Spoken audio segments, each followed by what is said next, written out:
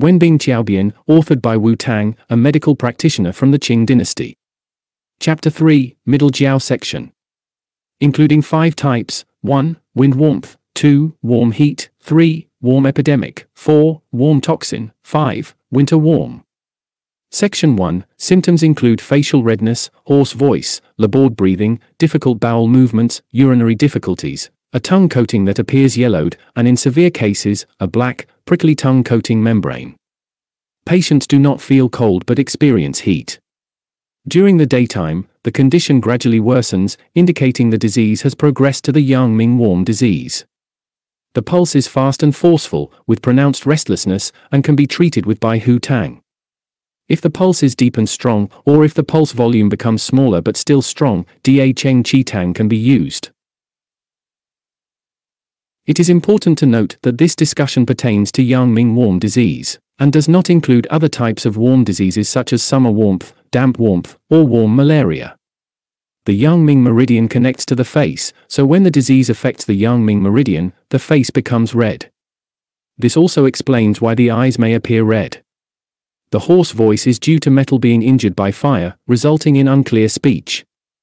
Labored breathing means that both inhalation and exhalation through the nasal passages become heavy, indicating the disease has already manifested internally and is not just a superficial condition. If labored breathing occurs only during inhalation or exhalation, or if it is inconsistent, further detailed diagnosis is needed as labored breathing can lead to wheezing. Difficult bowel movements indicate the presence of Yang Ming meridian solid evidence, while urinary difficulties signify that yin qi cannot properly resolve the heat in the fu organs.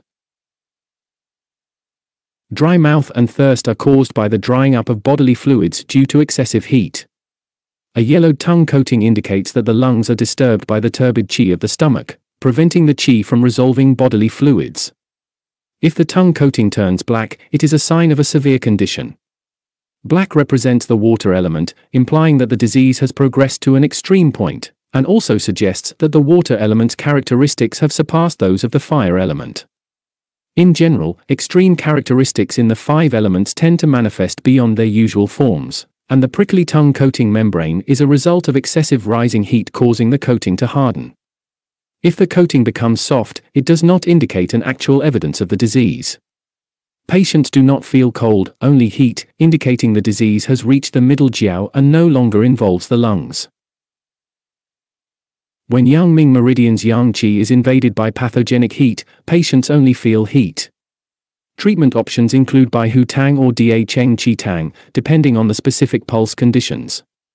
If the pulse is floating and turbulent, it means the pathogenic heat is still on the surface and should not be purged downward. Treatment should be aimed at relieving the heat. If the pulse is deep and strong, it suggests that the disease is mainly located internally, and in this case, Da Cheng Qi Tang should be used to clear heat and relieve the evidence. Wu Tang also mentions the color of the tongue coating, stating that if the coating's edges are white and only the center is slightly yellow, rhubarb should be added, but he does not endorse this practice. He emphasizes that even in severe conditions, cathartic medications should not be used lightly. He mentions the yellowed tongue coating, progressing to black with prickles, and a deep and strong pulse as the criteria for considering the use of Da Cheng Qi Tang. Finally, Wu Tang explains the different treatment approaches for warm diseases and typhoid fever.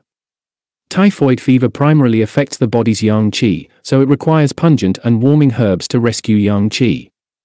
Warm diseases, on the other hand, mainly affect the body's yin qi, so they require herbs with pungent, cool, sweet, and salty qualities to nourish yin qi. In summary, the treatment methods for warm diseases and typhoid fever differ because they affect different aspects of the body, but medication choices should be based on the specific symptoms presented by the disease. Note 1 In the Ling Shu, a classic Chinese medical text, the presence of a tongue coating is explicitly mentioned only in the case of lung warm disease, while it is not mentioned in the context of other warm diseases. The appearance of a tongue coating is explained as a result of the stomach's turbidity and smoky fumes ascending and steaming the lungs, leading to the inability of lung qi to resolve properly. Da Cheng Qi Tang's components include 6 qian, a traditional Chinese unit of weight, of Da Huang, rhubarb, 3 qian of mangxing, natrii sulfas, 3 qian of hu po, magnolia bark, and 3 qian of xixia, Aurantii fructus immaturus. To prepare the decoction, one should start by boiling jisha, then add da huang and mangxing, simmering until it becomes 3 cups. Consume the first cup initially and, if there is no bowel movement after approximately 2 hours, drink the second cup. If there's still no effect, consume the third cup. The ingredients in this prescription have characteristics of bitterness, pungency, purgation, and a salty nature that promotes descending. The therapeutic principle of Da Cheng Qi Tang is to facilitate the descent of gastric qi. The stomach, as a fu organ, possesses a yang nature. In a healthy state, stomach qi should naturally descend.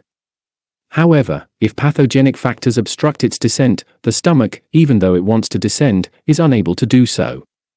Therefore, the assistance of medicinal herbs is needed to encourage the descending of stomach yin qi.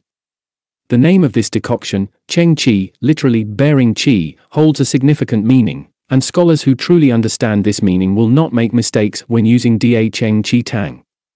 Da Huang acts to clear heat stagnation, Mangxing enters the yin aspect and softens hardened substances, Jisha opens the pylorus, resolving issues of obstruction, while Hu Po eliminates solid fullness in the center palace.